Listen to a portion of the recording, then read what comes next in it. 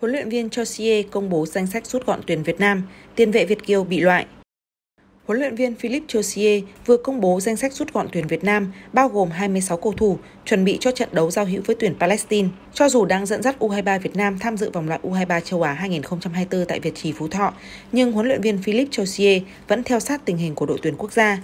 Hôm nay, chiến lược gia người Pháp chính thức công bố danh sách rút gọn, bao gồm 26 cầu thủ tiếp tục cùng tuyển Việt Nam, chuẩn bị cho trận thi đấu ở dịp FIFA Day tháng 9 gặp tuyển Palestine. Đáng chú ý, tiền vệ Việt Kiều Andrei Nguyễn An Khánh tiếp tục bị loại. Cầu thủ 18 tuổi này đã lên đường về Cộng hòa Séc từ ngày 6 tháng 9 sau khi nằm ngoài kế hoạch của huấn luyện viên Chosier. Trước đó, Andre Nguyễn An Khánh cũng bị huấn luyện viên người Pháp loại khỏi đội hình U23 Việt Nam tham dự vòng loại U23 châu Á 2024.